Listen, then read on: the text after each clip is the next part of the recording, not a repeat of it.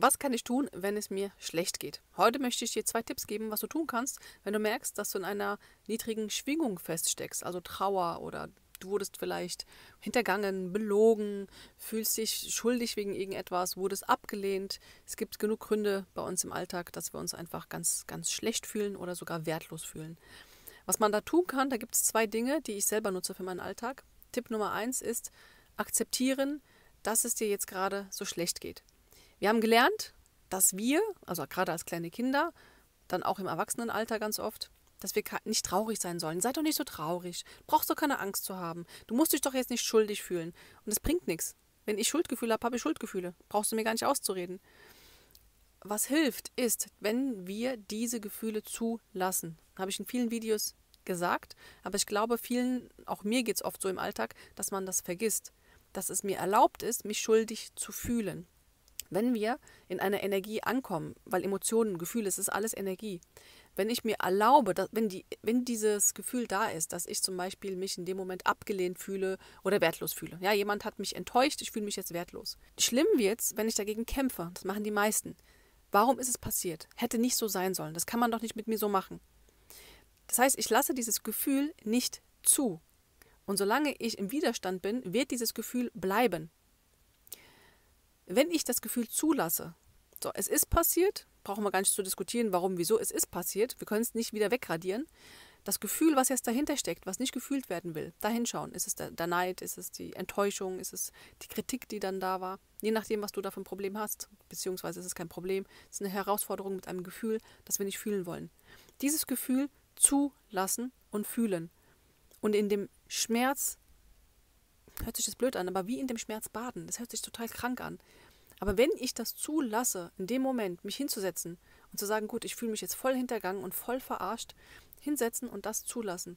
Der gesamte Körper wird dagegen kämpfen. Ich habe ich hab die Erfahrung bei mir gemacht, dass mein Körper sagt, nein, nein, weil ich will mich nicht verarschen lassen und ich gehöre nicht zu denen, die abgelehnt werden oder sonst was. Aber wer bin ich, dass ich so arrogant denke, dass ich nicht abgelehnt werde oder dass ich nicht hintergangen werden kann? Natürlich. Wir sind hier, um alle Gefühlszustände einmal durchzumachen. Und das bedeutet aber nicht, dass ich ein schlechter Mensch bin oder falsch bin. Das ist eine Emotion, die durch mich einmal fließen will. Diese Emotion oder dieses Gefühl bedeutet nicht, dass ich wertlos bin. Sie bedeutet nicht, dass ich dumm bin, dass ich schlecht bin, dass ich mangelhaft bin. Und das ist dieser kleine feine Unterschied, den viele machen. Ich auch jahrelang. Dass wenn so etwas passiert, das ist direkt auf meinen Wert reflektiert wird von mir aus. Also ich tue das so interpretieren, das bedeutet, dass ich ähm, falsch sein muss. Und das ist ein Punkt, wenn du akzeptierst, dass das Gefühl da ist und auch verstehst, dass das Gefühl nicht bedeutet, dass du ein schlechter Mensch bist oder dass du falsch bist oder, oder dass du wertlos bist. Das bedeutet es nicht. Das Gefühl will einfach nur von dir einmal gefühlt werden. Und dann fühle ich das und lasse es durch. Das ist eine Arbeit, das ist nicht so einfach für mich ist es immer so, dass ich mache das so, dass ich mich hinsetze. Ich brauche Zeit alleine, ein paar Minuten und gucke, dass ich es fühle.